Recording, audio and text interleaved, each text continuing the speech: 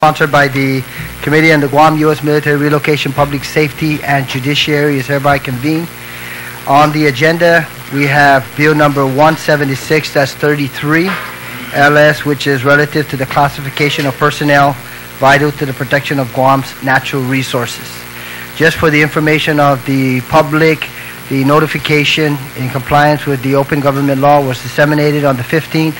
Uh, The initial information or notification was disseminated on the 15th of September, and then the second notice that went out to our public, to the senators and to our media uh, partners and the stakeholders also was sent out subsequent to that on the 17th.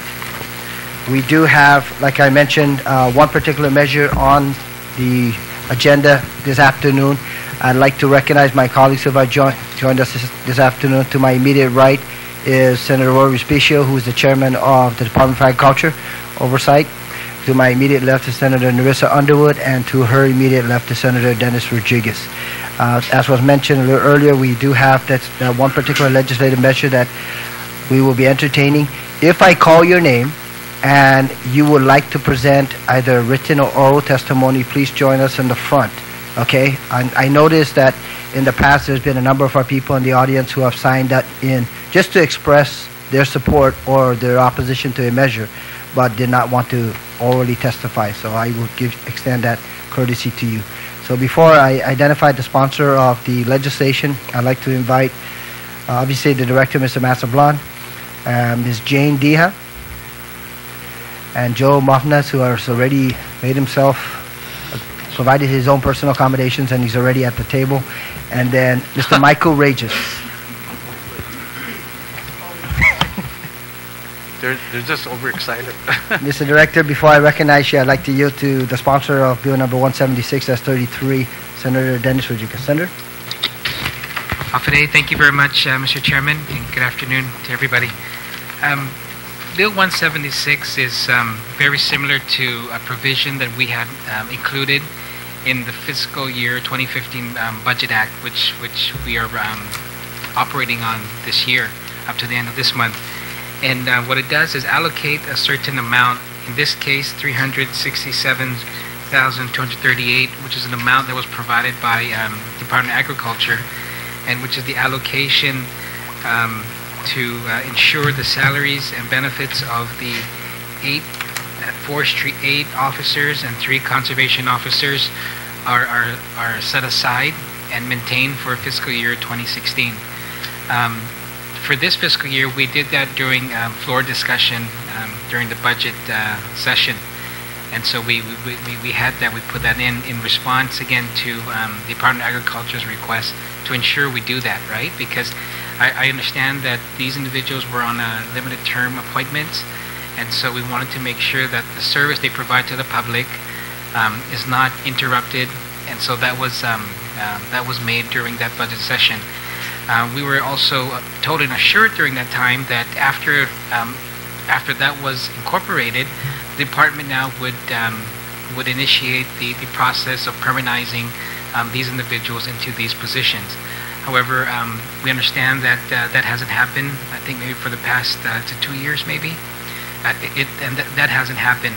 And uh, we're afraid, um, concerned that now that, um, again, we are in this situation where the department has not acted on permanizing uh, these positions. And so um, what this bill calls for is, number one, to ensure that the service of pro- um, protecting, protecting our Guam's natural resources are not interrupted. Um, and hopefully if we can get this on before the start of the fiscal year, um, then, um, then we can be assured of that. But also, um, the second aspect of this is ensuring that now we, um, we permanenize these individuals who have been occupying these positions for, I believe, two years, two or, or even three years maybe, right? So um, that's, that's what this um, measure does, Mr. Chairman. So thank you very much. Thank you very much, Senator Rodriguez. And the first individual uh, I'd like to identify is the director, Mr. Sablan. Thank you, Mr. Chair. Uh, Buenos and Hafa Adai, Senator Respicio, Oversight uh, Committee for Agriculture. Uh, Senator Frank Aguon Jr. Uh, uh, what, for introducing this this bill, and also to Senator Rodriguez. Uh, Senator Underwood, thank you for giving me the opportunity. Uh, My name is Matthew Longuerro Sablan, Director of the Guam Department of Agriculture, and along with my Deputy Director, Mr. Jesse B. Pelican, and the rest of the employees of the department, we are thankful for the opportunity given today to testify in support of Bill 176-33. We would like to express our appreciation to Senator Dennis Rodriguez, Senator Rory Respicio, Senator Frank Aguon Jr. for sponsoring and introducing this bill, which would classify com- competitive limited-term appointments for three conservation recruit positions and up to eight forestry aid positions with no interruption in service which is vital to enforcing Guam's laws and regulations for the protection of fish, wildlife, endangered and threatened species and forestry laws. The department's conservation law enforcement section, along with the forestry and soils resource division, is in dire need in classifying these trained and experienced employees to effectively continue the protection of our island of Guam's natural resources. In closing, we humbly ask the members of the 33rd Guam Legislature for your favorable consideration in the passage of Bill 176-33. Thank you, Si Yu'os Ma'ase. Thank you very much, Mr. Sablan. Ms. Dia, if you can please identify yourself for the record and proceed. Jane Dia, Resource Information and Education Officer uh, within the Division of Aquatic and Wildlife Resources at the Guam Department of Agriculture. Um, Hafa Senators, thank you so much for this opportunity. Um, I'm a campaign manager for a marine preserve campaign called Piti Pride to Pugin Wide, and some of the outcomes of that was having um, the community do a pre and post survey where they identified threats to the natural resource management of the uh, Piti Bomb Holes Preserve. And so one of the recommendations from the public and um, the community was an increase in enforcement. And they felt that out of all the activities, that would be something they would need. And so, in support of that, um, the U.S. Fish and Wildlife um, Sport Fish Restoration um, Grant um, afforded us to uh, move forward with the program. And also, a nonprofit organization from the States called RARE uh, um, funded a lot of the activities for this campaign, as well as the University of Guam Sea Grant.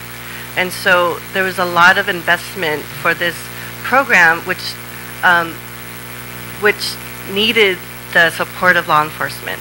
We could not have done this campaign without law enforcement. And the success of the campaign is um, a hotline that was developed, so there was a greater increase in communication with the public and the community to our law enforcement. They had an increase in patrols. The funding sources were able to get them um, much needed repairs for equipment so they can continue those patrols.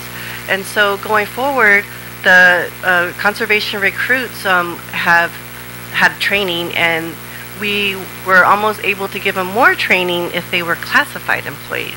So the nonprofit organization had it as one of their um, um, requirements to give them more funding for different training. But because they weren't um, classified, we had to just um, table that for another time. So um, in, in closing, we, it was really important that we had law enforcement uh, numbers. We needed an increase in force, and having a break in that kind of service with, um, um, you know, with the budget not being approved, you know, it would impact the community's perception of the support because we went forward with the campaign saying that law enforcement would be there, and so it is really important for us. And also, um, going forward, we're, we're extending to Tumon Bay, and we, we need more um, um, presence. And so, you know, reducing the numbers would really impact the beginning of this um, other uh, Tumon campaign. So, you know, I just think, you know, I, I'm grateful for their their their efforts because not only that, they were able to give us a lot of needed data and the data they collected between three years, um, they're able to do better management practices. And also, it's a good tool to give back to our community and say what they have been doing. And so, um, I really am in favor for this opportunity for them to have just the continued service, as well as our um, forestry aides. Because we do a ridge to reef approach to conservation, and their support really impacts our efforts for fisheries management. And so, you know, we really do need all of these uh, manpowers in our in our agency and service. So thank you so much for this opportunity. Thank you very much, Ms. Dia, for your testimony this afternoon. Mr. Mafnas?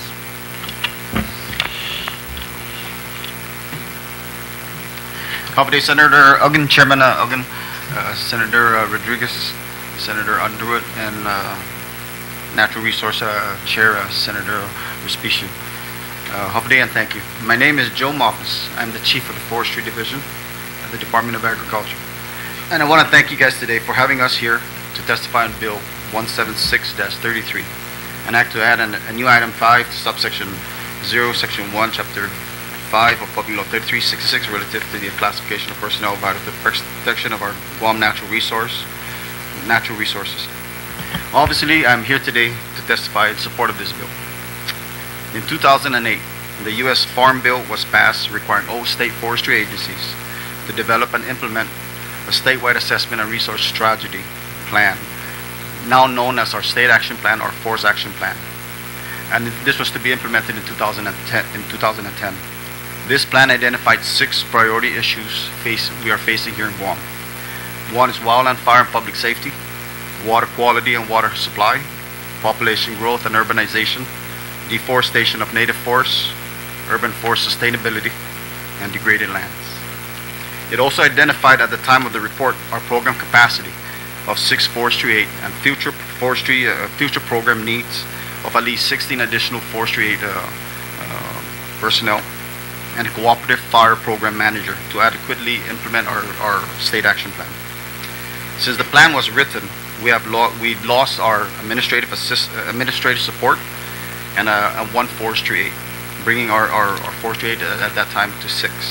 But today I'm happy to report that we finally recruited our administrative assistant and with the, like what Senator Rodriguez uh, said earlier uh, in that bill in 2015, the eight forestry aid positions.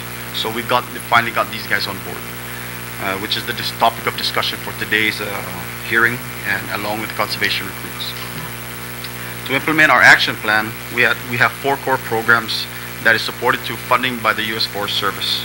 These are one, our forest stewardship, pro- uh, forest stewardship program, which pr- we provide technical assistance and trees free of charge to landowners, farmers, ran- ranchers, and land trust recipients to assist them in mitigating conservation is- issues such as providing trees to address windbreak, soil erosion, and agroforestry practices. We have provided thousands of trees to numerous cooperators throughout the years in collaboration with the USDA Natural Resource Conservation Office to support their uh, environmental quality incentive program, EQIP, a program that's available to our local farmers and ranchers. Uh, we have a large project coming up this October in Merizo in the Manell-Geus watershed. Um, in that area, wildland fires, wildland fires, soil erosion, and flooding are impacting residents in this area. Um, this past dry dry season, there was a large fire that went to that area, and I had a chance to speak to one of the, the residents there. And uh, he was he told me that he had to evacuate his house because his daughter had asthma, and because of the smoke, he had to he had to evacuate his home. Um, the work that we're gonna we're proposing to, to be conducted down uh, down in this area is to plan is to plant about 2,000 uh, acacia uh, seedlings uh, in, in our efforts to address the wildland fires, the soil erosion, the flooding that's occurring down in that area. So that so in the future, these families will not have to evacuate the, their their homes because of the fires. Fires are reoccurring in that, that area just about every year. In our forest health programs, you know, we got the rhino beetles, we got the little fire ants, and the Asian cycad scales. What more can I say about these these issues? Uh, the movement and importation of food, building supplies, and everything else under the sun, we are at risk of impacting our native forests and farm production. We see the damage the rhino beetles have done to our coconut trees. The Asian cycad scale has decimated centuries-old uh, cycads or fadang in, in the wild. And the little ant is and will be, a be will be problematic in the future. If not adequate, adequately addressed, farmers, hikers, nature lovers, and our tourists will be impacted. To address these issues, we have collaborated with numerous local and federal agencies to get support from the Forest Service to fund the CRB program, Little Fire Ant program, the Asian Cycad Scale research, and more recently, the Guam Plant Extinction Prevention program. It, that's, a, that's a mouthful, but as the name suggests, we are trying to prevent the extinction, the extinction of our native uh, and indigenous uh, trees. In our urban community forestry program, this program provides technical, financial, training, education, and outreach, outreach services to local, federal, and nonprofit organizations in the form of providing trees for green spaces in the uh, urban landscapes, training on tree climbing and pruning, tree hazard assessments, and tree arbor certification.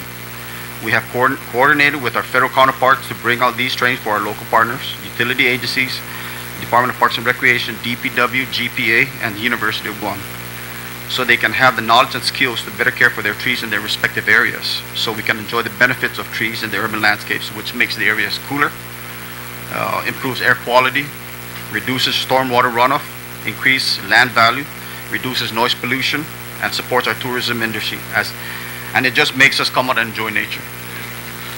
You know, I, I have many people coming into my and, and organizations coming into my office requesting for support and guidance on proper care, maintenance, and pruning of trees, expressing safety concerns for large trees because, as you know, in recent years, in the urban landscape, we have been trees in the urban landscapes have impacted our lives in a very traumatic way, damaging property and infrastructure and even lives.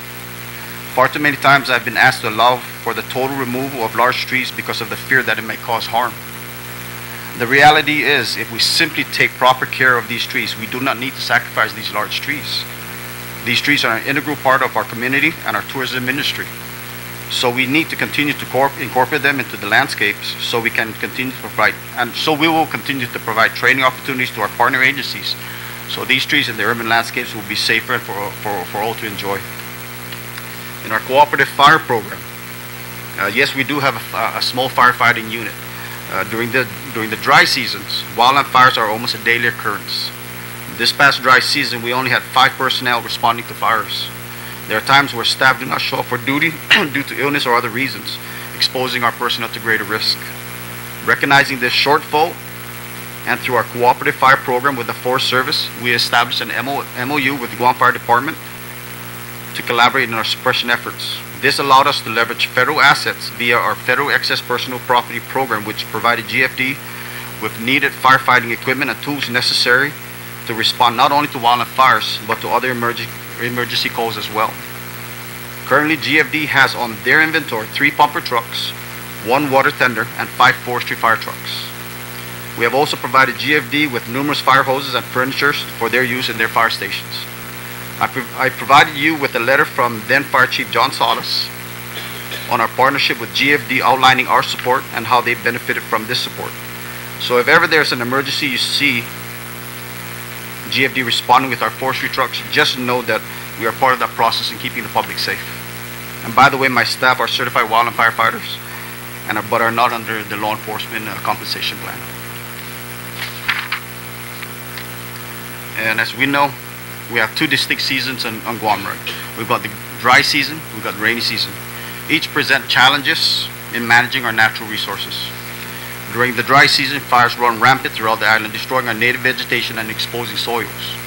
In our rainy season, because there are no vegetation to capture rainwater in their branches and leaves, water works its way downstream unmitigated, causing flooding, damaging property and infrastructure. Exposed soils are transported to our rivers, streams, eventually into our coastal and marine preserves. We have seen in recent months the closure of the Ugum treatment plant due to high turbidity. So we are out there proactively conducting reforestation work in the urban landscape and in the rural landscapes to mitigate this, these problems. This October, we're celebrating Arbor Month. We invite all of you guys to attend, please. And we have planned a number of events throughout the island with the kickoff event in October 13th at Ipao Beach and two others in the Merizo Manel Gayas areas, as I, as I uh, referenced earlier, earlier in my testimony. The, in the installation of trees in strategic areas, we have an opportunity to address the soil erosion, flooding, and fires that are constant occurrence throughout the island. Our federal counterparts, the Forest Service, is very supportive of the work we are doing and the local partnerships we have formed and are committed to our programs by providing funding and technical support in the form of training on tree care maintenance, invasive species identification, and wildland fire suppression. When these, training, when these trainings become available, we do open up these opportunities to our partner, partner agencies as appropriate. These are just a small example of the work, collaboration, and partnerships that we address, that we do to address the issues that are affecting our people and our natural resources.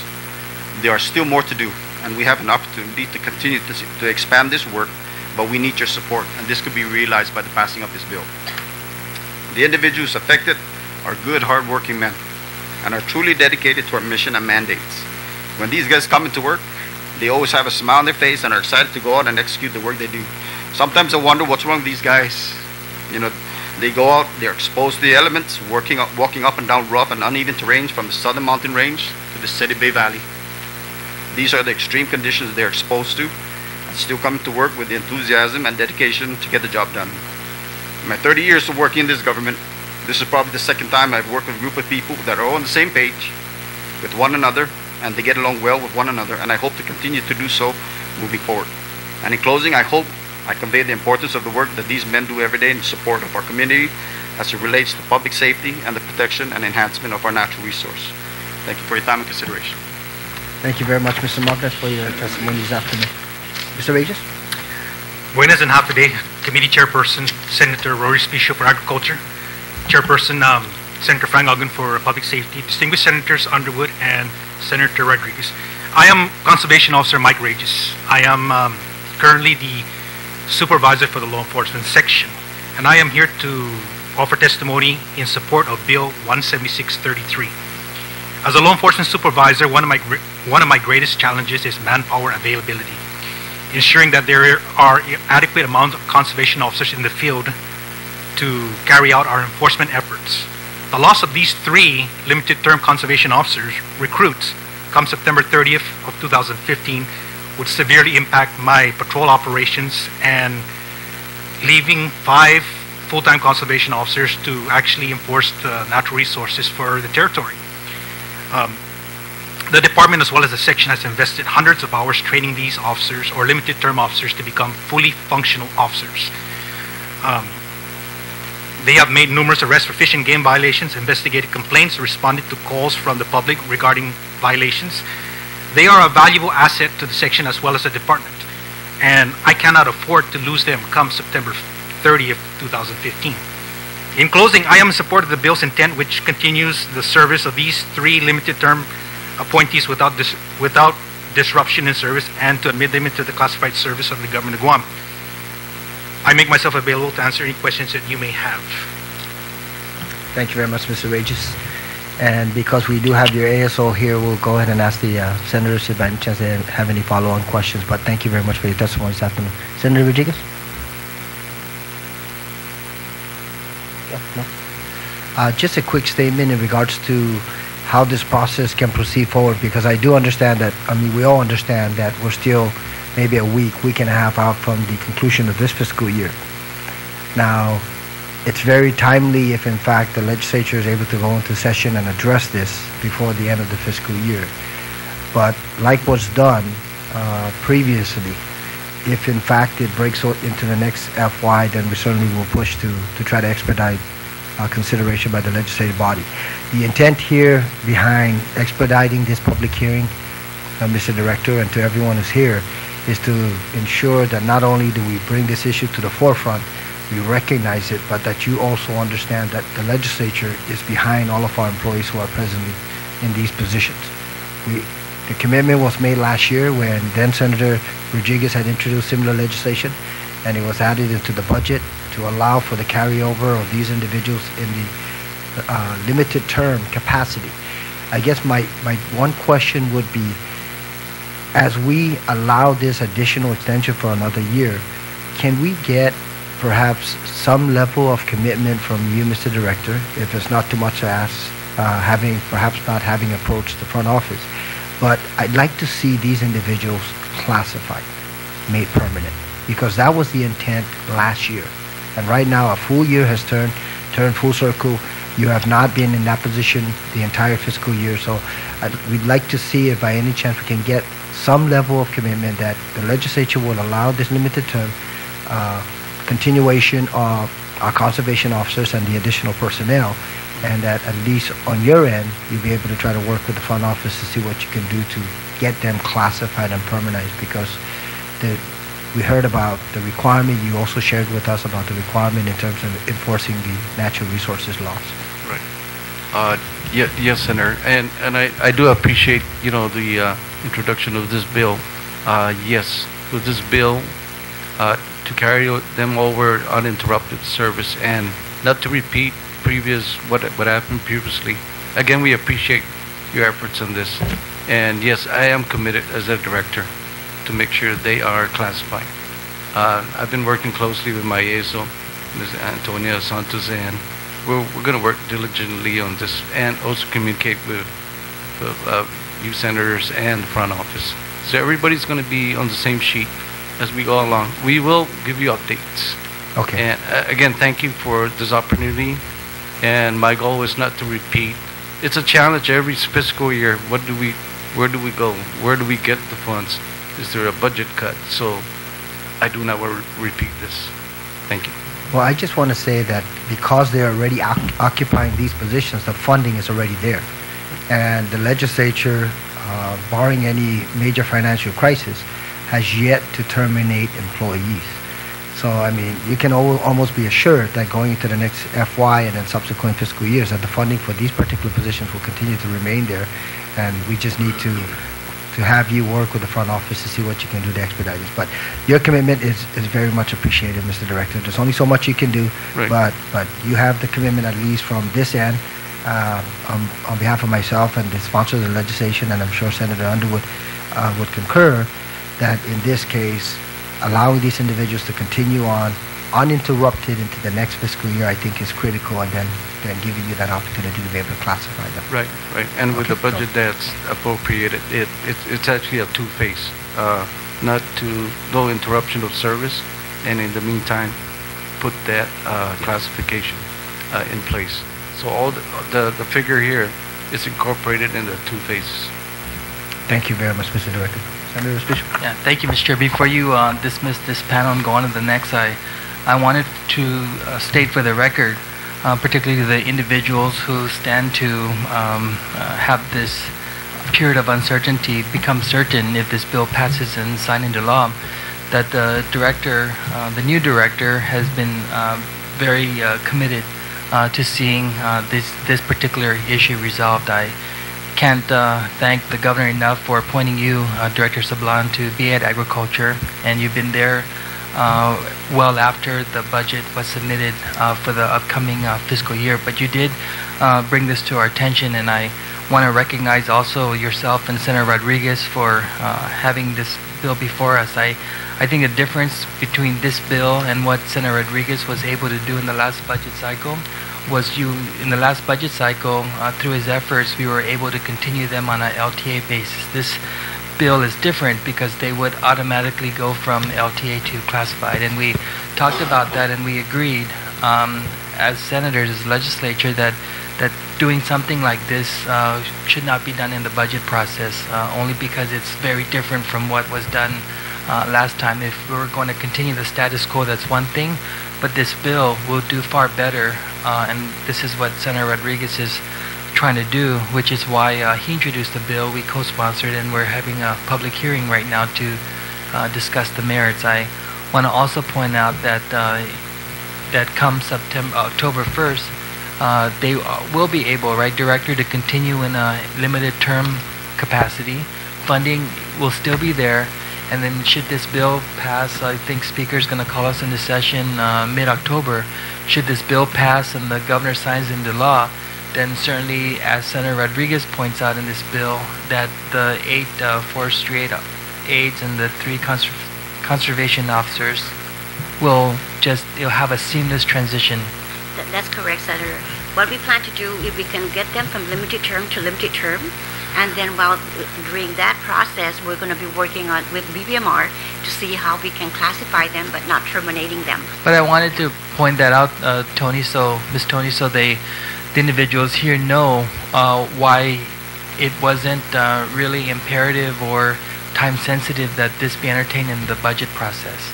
You know, the budget process contains whole sorts of uh, uh, issues that identifies the governor's priorities, the legislature's priorities, and to put something like this in a budget bill uh, might have just made it harder for for this thing to go forward. And so I appreciate um, also Senator Rodriguez recognizing that that it's better we do it outside the budget act uh, so they can have a fair shake at uh, this uh, initiative that Senator is trying to propose. That's right. Just so you know, because it was mentioned that come October 1st, you'll lose these individuals. Correct. Just to make it perfectly clear, come October 1st, you will not lose these individuals. They would remain um, LTA, and then uh, uh, through the efforts here in the legislature, uh, everything could be applied uh, retroactively.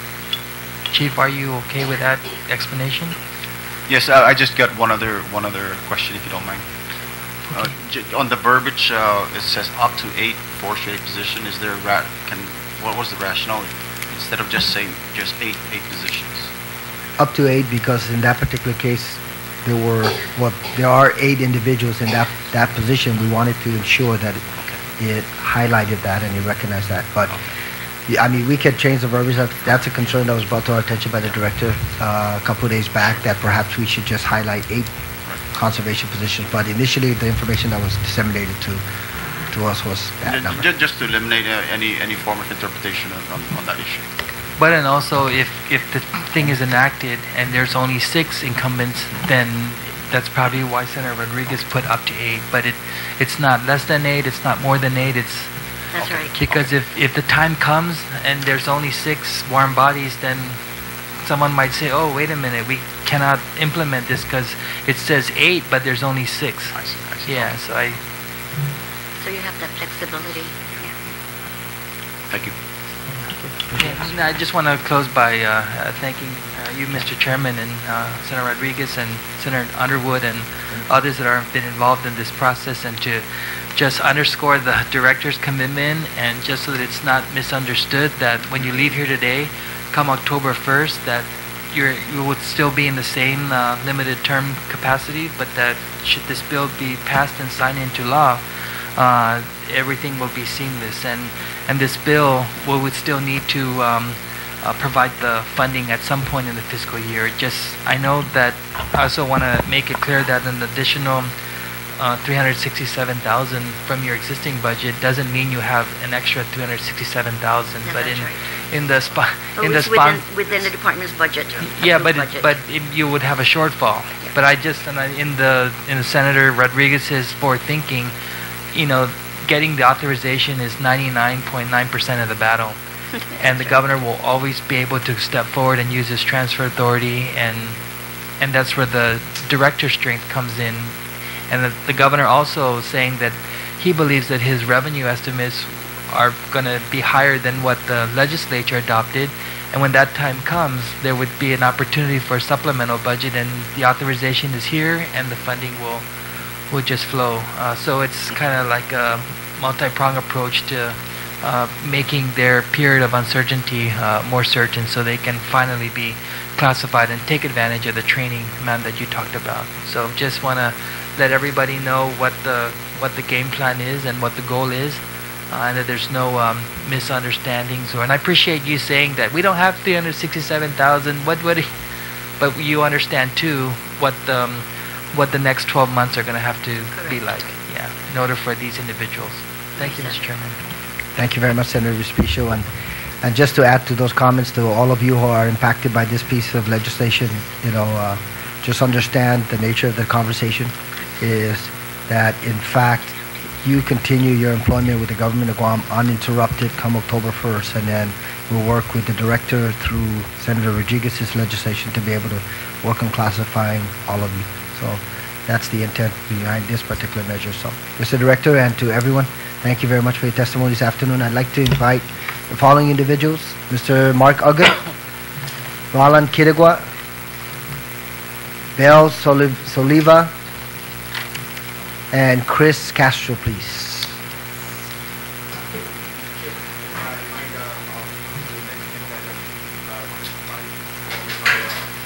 Okay, okay. If I can also invite the following individuals, Gage Santos and Daniel Anderson.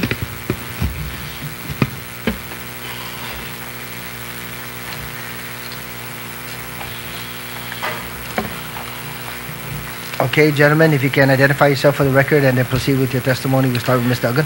Buenos and Day. Um, I'm Sergeant Mark Ogan. I'm the Operations Sergeant for the Law Enforcement Section. Uh, First and foremost, I'd like to thank you for uh, taking the time to consider our position within the Department of Agriculture. Uh, Right now, uh, we are in dire straits. Dire straits, and I mean really bad, uh, in regards to enforcement and responding to the public's needs and protecting our natural resources. Uh, As you can see right here, I have two of the LTAs in front right here and one of my senior guys. The rest have other uh, commitments right now. One cannot be here because his wife had surgery.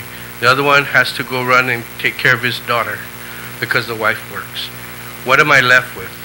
This is a problem that's been happening for a long time, and it needs to be addressed. Um, I don't want to go back and re- rehash what my boss has already explained to you, but I will tell you this. Since we brought these guys on board, since the time that they actually started working, they've actually already accumulated 16 cases regarding uh, violations to Guam law. The most current one, and this is the one I'm so far most proud of, we actually apprehended criminal, uh, career criminals in this last one. One happens to be a pedophile. One happens to be a illegal arms dealer slash uh, bomb maker. And then the other one is a beyond control criminal. We do not just do natural resource. We are out there to protect the public as well. Our hours of operation is none other than the same as everybody else. We work the, the, the, the Gaga hours per se. And we, we're the ones that go out there and we look at these parks and look for these people that attack people that are trying to do uh, exercise or get, you know, just take the time on their personal time to be away. All of a sudden they have a perpetrator on them. We are the guys in the shadows. That's how we work. But I'm losing ground. I'm, I too am in the position to retire. So is my boss. Where is the experience, the guy that's going to take over and train these guys when we're gone? Basically, we're putting them in harm's way because they have no leadership, senior leadership because of this problem. It's been happening for a long time. So I'm really grateful that you took the time today to hear us and heed the call that we need guys desperately. And we're not just three, we need more. We need more guys. The last the the last guys that I have left that are that are 24 years never got promoted. Where's the fairness in that? Where's the fairness? You need to go home and sleep on that. These guys are are they I don't know how we're we're still here. I moved up once in 24 years. Our classmates, Guam Police Department guys that I graduated with, moved three or four times. So why? Why are we not treated equal? We don't understand that. But today's fight is for these guys to stay on so that Guam's natural resources are protected. We work with forestry. We are arson investigators for the forestry. We have 17 core mandates. We do everything. We don't have a criminals uh, section. We don't have an investigative section. We don't have an evidence processing section. We do it all. We don't go home until the whole process is done. And that wherein lie is is where the government loses. You give us so little people to work with, you pay overtime. Why? Give me more guys that can work three shifts, and we would cut that down drastically, cover more area. In closing, I will tell you this that you're not working alone. We found a way to help ourselves. Okay, right now we have a CEA, a cooperative enforcement agreement with NOAA law enforcement. We found a way to get us the equipment we need. So we're asking you to meet us halfway. We're in the LESO program, the Law Enforcement Surplus Supply down at Big Navy. We're in that too. We just got approved. So we're trying to fix ourselves, but meet us halfway. Now you need to help us give us numbers. Help us keep these guys and then move forward and give us just a little bit more. And then don't forget my colleagues, the two guys, 24 years of dedicated service, and not once did they get promoted. So please look at that, Senator, and fix that problem. That's a shame. I'll be ashamed to, to, to know that. You know, you won't sleep good tonight knowing that. How did this government servant work 24 years and never get promoted? And he earned it through training, education, and experience. So please, today, all I'm going to ask now is consider this bill, fight for it. I know you have more votes to gain. Work hard to get it and help the other guys. Thank you. Thank you very much, Mr. Ogun, for your testimony this afternoon. Yes, sir. Gentlemen, I don't think you're going to mind, but if we can yield to the young lady, the far right. Good afternoon, Senators. Good afternoon. Um, my name is Belle Suliva. I'm one of the foresters. Um, I am here to support, and um, I am almost to retire as well.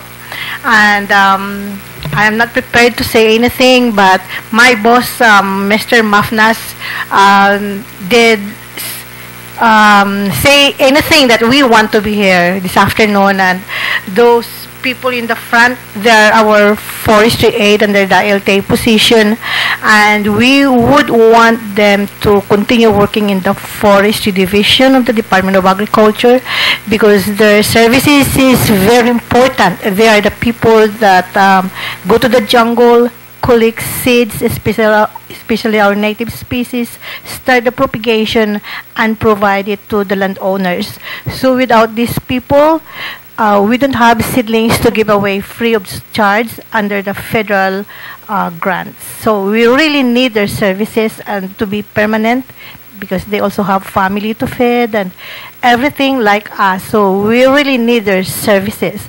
And as I said, I am retiring soon, so we want them to be to um, take care of the forestry division and the needs of the landowners that is doing um, good in our environment or protection of our, our natural resources in this island.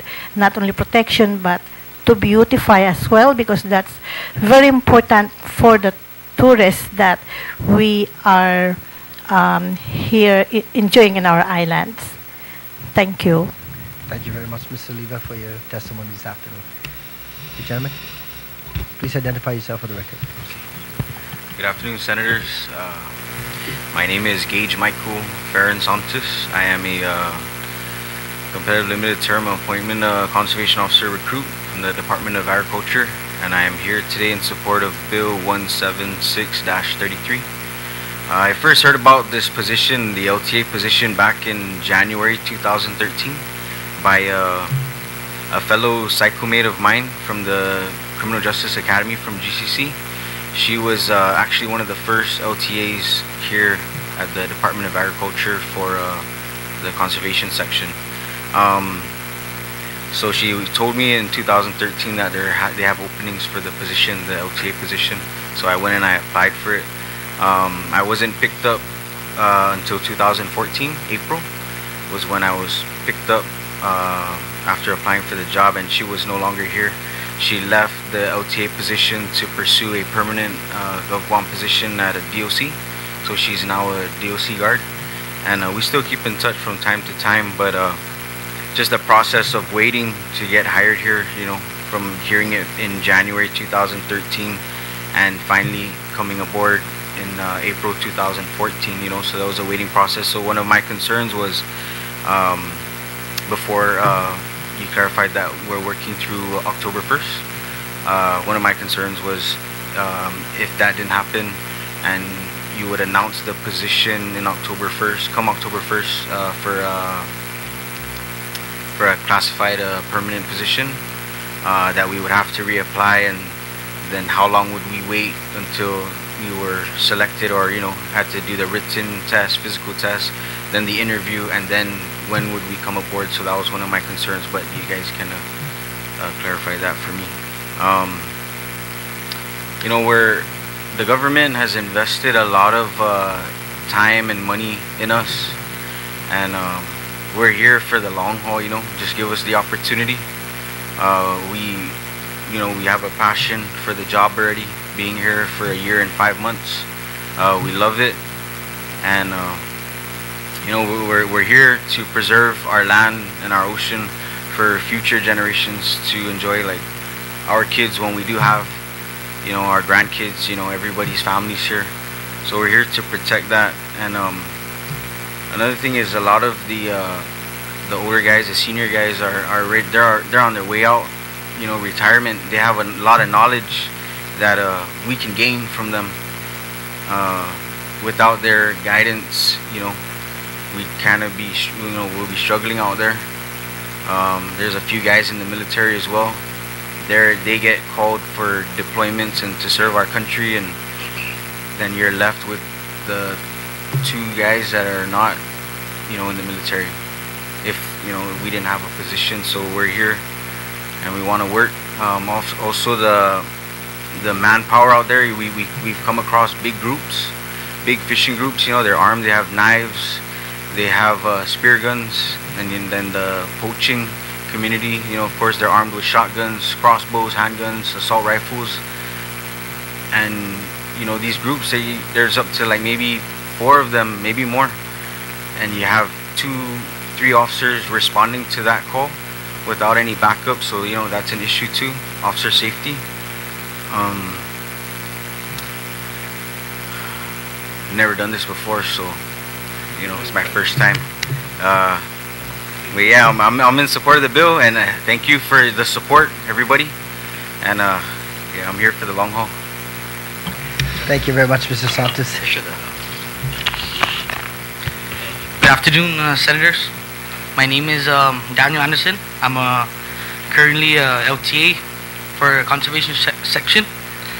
Um, the guys pretty much already explained uh, the crisis we're in and um, the importance of our natural resources.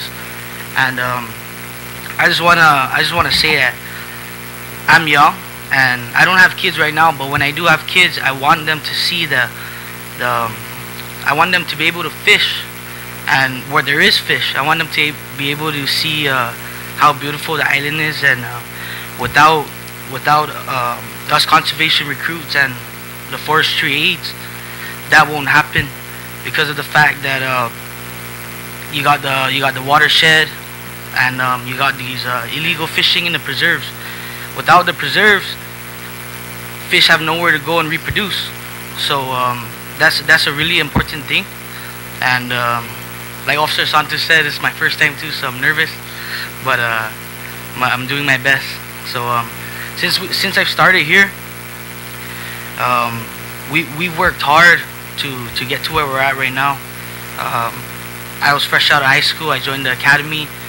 Um, instead of hanging out with my friends, having fun, you know, I wanted to work hard because I wanted to be in law enforcement. I wanted to uh, to protect the public.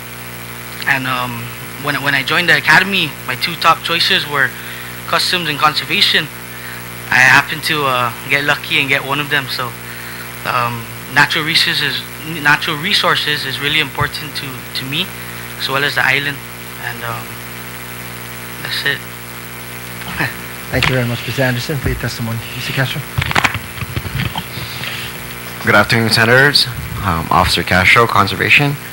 Um, for the past few weeks, I've been working with uh, uh, at least uh, with the three uh, LTAs that we have for conservation, and they've been sitting on pins and needle, and I, I could only imagine the, the forestry aid. And uh, I just like to uh, thank you for, for the support for, for these individuals because without the clarification that Senator Respicio just gave, a lot of them are stressing out. I mean, I've seen one of them like like uh, they they could not even think on a daily basis, losing sleep, losing weight. I mean, seeing that from a person and as a colleague, you know, it concerns me. And now that you've given them that that that that hope, you know, it, it's really inspiring, and I I thank you for that. Um, you know, I like to keep things simple, but um, these uh, three individuals that I work with, uh, Officer Rios, Officer Anderson, Officer uh, Santos, they busted their butts off for, for the for, for the time that they were working here. I mean, we, we ra- ran them through the ringer. They, they even did officer survival um, course through the water, and that's something that I wouldn't want to repeat myself. So you know, I mean, like if if we're gonna keep them, that that's absolutely great. Because if we were to retrain new folks, I don't think that that that, that, that they have the fortitude that these uh, three individuals showed. And I just like like to express my uh, gratitude and thank you. Thank you, Officer Castro, Officer Anderson, Officer Santos, and uh, Officer Elgin, and Ms. Oliva. Thank you for your testimony. You, you pulled the mic. Did you want? Yes, sir. I, I just want to say one more thing uh, before I get up here. Uh, not only do did you hear coming from their hearts, you know, not, nothing rehearsed. Um, We asked them to come if they wanted to, give them the opportunity to fight for themselves. Uh, At the same time, we will promise to come up here too and, and fight for them. But the other thing I want to address to this committee too is, not only is it about this situation here, what you leave me with, if this does not happen, overloaded work, workforce of five guys for the whole island. There's just no way. Then what is it gonna say? We have communities out there that will stand up and say, we're not doing our job. Bring it to you, another headache go round. That's happening already. So we're trying to stop that process. We need these guys and more. We do. Seriously. The time we spent training them, the money that we spent training them, the response to the community, like Ms. Diaz said, we get calls all the time. As soon as I parked my car in the garage last night, I got a call on my cell phone, my personal phone, which I give out as a response, and requesting for CO to go down to Merizo, they're net fishing, which is illegal. Where am I gonna? I'm so ashamed to call their wives and say, "Can I get Gage?" It's just too much. We need help. So I don't know how much more I have to tell you. So please uh, think about this, fix it, and then help us some more. It's not. It's not yet over. Sorry to say, it's just not over yet. Mr. Chairman, very quickly, uh, I just want to say that the existing authority to allow you to continue as an LTA was through Senator Rodriguez's um, current law. Uh, What he's proposing here is better than what we were thinking about with the director and the ASO. So you have the existing authority, and if this thing goes through, it'll put you in a better position. And I wanted to uh, clarify that and underscore that, and make sure come October 1st that none of you are going to be going to the governor's office or going to any of our offices asking what happened. You heard the director and the ASO say that from from now until this bill passes and hopefully becomes law, uh, nothing should change. Right, Director? okay. And what Senator Rodriguez is proposing is far better than what we ever talked about, right, Director? Thank you. Thank you, Thank you very much again, gentlemen, and, and just to reiterate, you know, this is the second time we're going through this entire process of extending the limited term positions into the next FY. So you already have the commitment of 75% of the members of the legislative body by virtue of that action last year. And I said 75% because we have four wonderful new colleagues who joined the 33rd Guam legislature, and you have one to my immediate left. And I don't envision any concerns with regards to passing this legislation, allowing the director to continue to retain his resources, and allowing these men to continue to contribute to the community through their efforts. What we'd like to do is if, if Mr. Director, um, two things. One is, first of all, thank you very much for allowing your people to be able to testify. I think that that speaks volumes about your leadership within the department, allowing your respective employees to be able to testify on legislation that could impact them or could impact their divisions or their sections. So thank you very much on that note. Secondly is, Mr. Director, there's a side issue that was just mentioned by Officer Uggan, and I don't want it to leave this public hearing without being recognized. If by any chance you can work with the chairman or uh, myself or any of the senators, Senator Rodriguez or Senator Underwood or any of the senators in the, in the legislature, so that we can work on that promotional structure that you need in law enforcement. Because really, 24 years, an individual not being merited, and I literally say merited with a promotional opportunity within 24 years, you know, that, that says something about what we need to do to visit the structure that you have for your law enforcement division. Yeah. Okay, so, so we will work with you, and please, we need your cooperation and, and the support of the front office.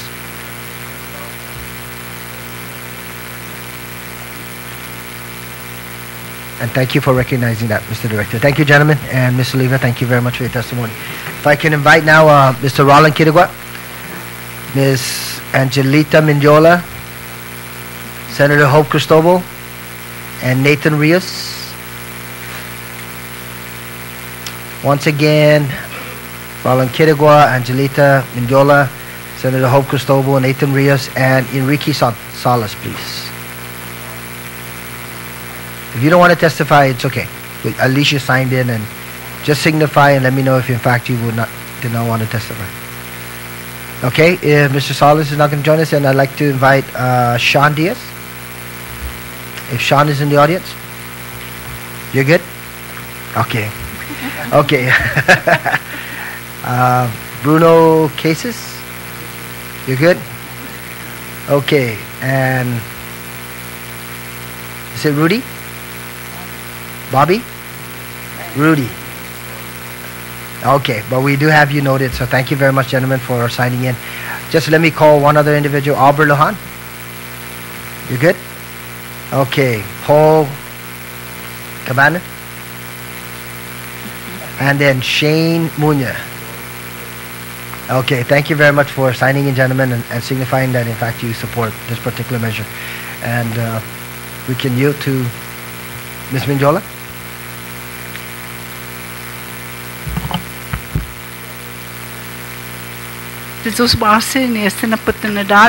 Matupago bem para testify. Thank you. Um, Hafa Adai, my name is Angelita Mendiola and I'm the chairperson of the Guam Southern Soil and Water Conservation District. And I hereby submit this testimony in support of Bill 17633. We sincerely appreciate the legislature's acknowledgement and support of the importance of Guam's natural resources. As it stands now, the Soil Water Conservation District is always working closely with various agencies such as Department of Education, the University of Guam, the Mayor's Council, the Department of Agriculture, EPA, NRCS, FSA, and many others as well as with the legislature itself on a host of many projects in pursuit of finding the balance between development and protection of all of our island natural resources for our future generation. Without going into all the details of the readily apparent cultural and economic importance of our natural resources, I'm here today to voice my support of any measure to further strengthen the capabil- capa- capabilities of our government and people to protect those vital resources. As you can imagine, we have strong ties and partners with forestry in the conservation and preservation of our island natural resources. We have been working together with other partners to help address the Ugum watershed problem by planting native trees on the ridges upstream. Together with students from Simon Sanchez, we even surveyed the uh, Atati area in Inarajan to identify native trees and to assess the soil erosion caused by feral ungulate. These students had real field experience to identify various native trees, collected seeds, and planted them at the forestry uh, nursery. With this, we plan to help prevent soil erosion. Hopefully, the plants will help regulate water flow as well as help filter the water going downstream. These are the kinds of community efforts that we naturally improve water quality feeding our Ugum watershed so that Inarajan will have clean water and water during raining uh, season. This is just a single example of the work we do. The work needed to protect our forests is overwhelming. Not only do they have challenges from feral ungulate, inconsiderate destruction of forests to make way for urbanization, typhoon, and most especially the burning of trees by arsonists who think they are hunters are just a few of the challenges forestry faces to protect and preserve our natural resources. Forestry, forestry also part- participates in education outreach activities sponsored by the other partners. Favorable support to staff the forestry division and of course the uh, aquatic division as called for in Bill 17633 is important and necessary to provide further support to continue for and continuity of work being done to help protect our natural resources, God's regalo to us. After all, our trees provide the oxygen we need to survive, provide the food for our people, and are the literal beauty of our beautiful island. We can't live without our forests. Your favorable support is, is a mark of your legacy to protect and preserve our natural resources for the livelihood of our people. Thank you, honorable senators, for this opportunity to provide this testimony in support of Bill 17633. And I'm really inspired by the, um, the aquatic uh, limited term employees. Uh, so and so the forestry limited term employees, they have dedicated so much of their time and their passion to help our island protect our natural resources for this generation and future generation. And I'm happy to state that the, to the, I mean that Director Sablan and Deputy Director Pelican are doing a great job. We have been really communicating and planting, planning a lot of activities to revisit. Uh, so I'm really, really uh, uh, happy, and your support fuels my passion to continue working for the protection of our natural resources. Thank you very much, and I applaud you for taking um, your time to pay attention to the needs of, of uh, the agriculture limited term people. Thank you very much. Thank you very much, Mrs. Mendiola. Senator Cristobal? I'll yield to my boss, the chairman of my board.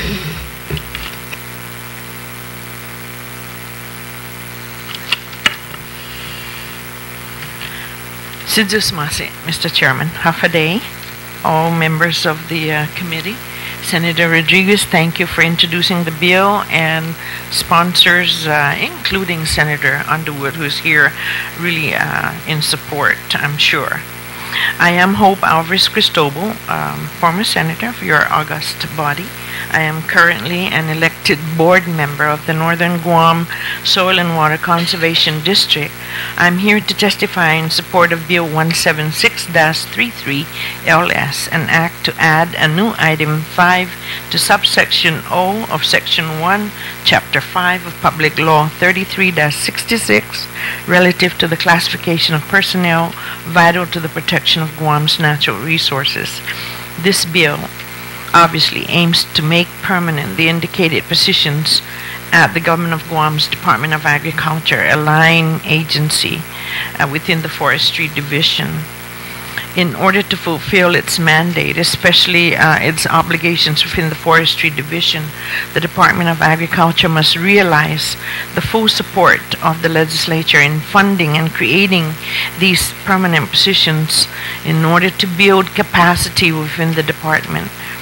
As a partner, the Northern Guam Soil and Water Conservation Board works in consonance with the Department of Agriculture in Soil and Water Stewardship and Conservation, which includes outreach efforts in the community. In particular, the Forestry Division reports to our board, um, or have been reporting to our board, about their work in forestry conservation and protection, that in turn supports the creation of more productive and sustainable agricultural lands on island. As you know, much of the care of our island environment has to do with the work done by the Forestry Division.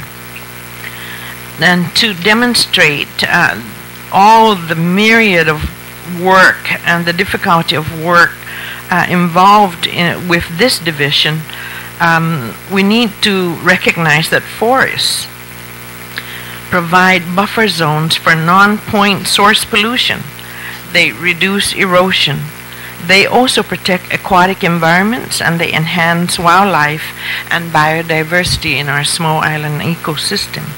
And with the increased intensity and number of storms due to climate change becoming more common, and the landscape changes caused by unnatural increase of our island's population, with housing developers eyeing forests and potential agricultural lands for their bulldozers, the increase in subdivisions, roads, parking areas, especially in the northern part of Guam where many of our agricultural products are grown on farms and ranches, and with the U.S. military coveting pristine forest areas and lands for themselves, the Forestry Division will no doubt be playing a major role in addressing the greater work of conservation and preservation of our island's natural resources.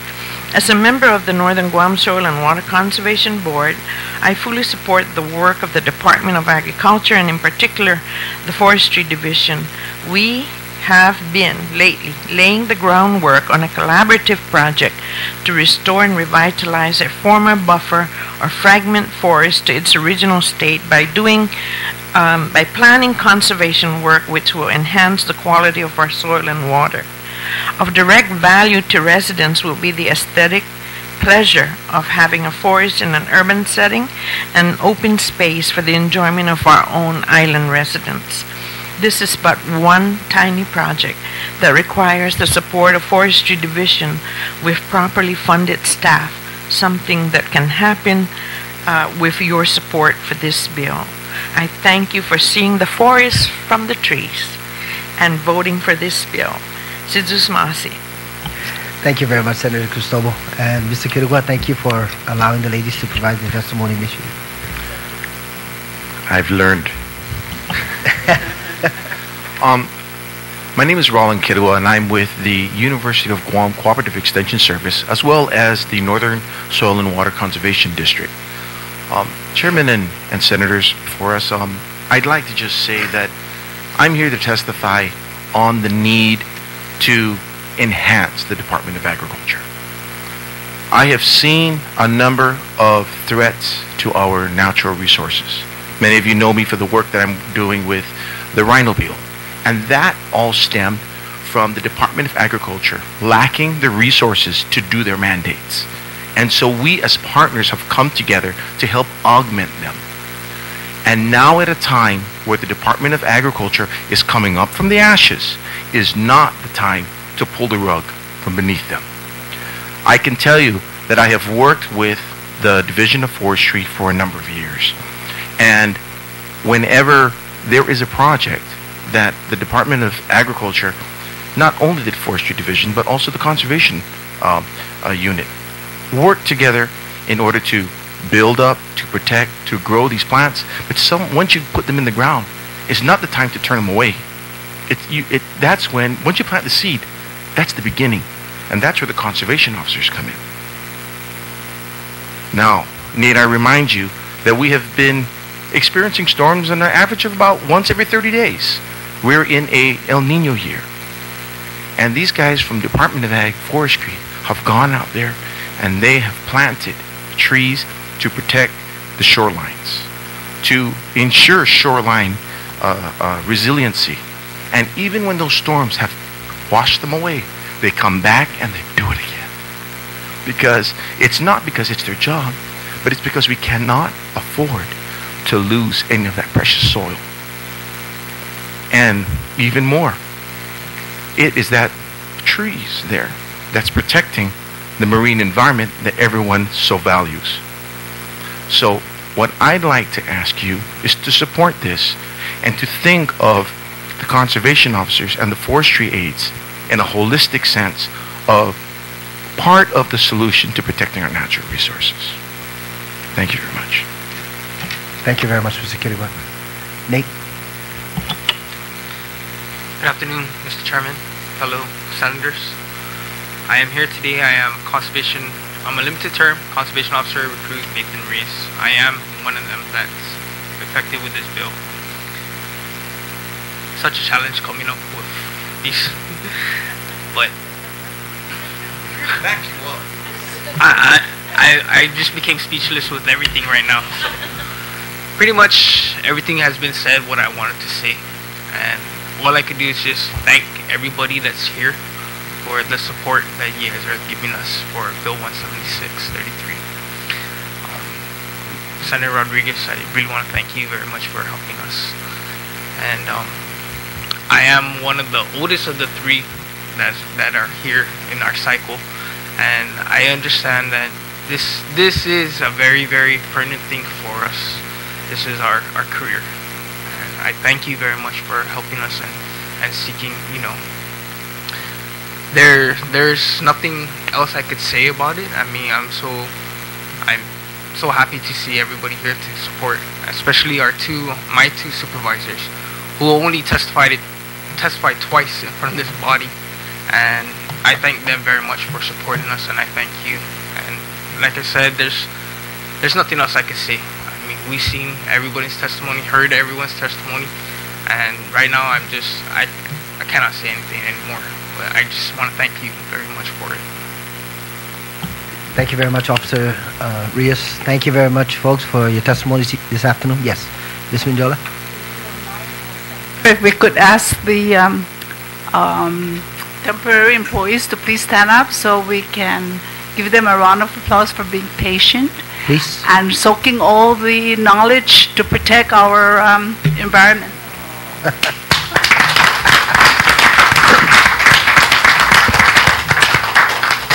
Thank you very much, Mrs. Mendiola, and, and Mr. Director, and to all of your personnel that came out, and also the additional representative, Senator Cristobal, thank you very much for providing your testimony.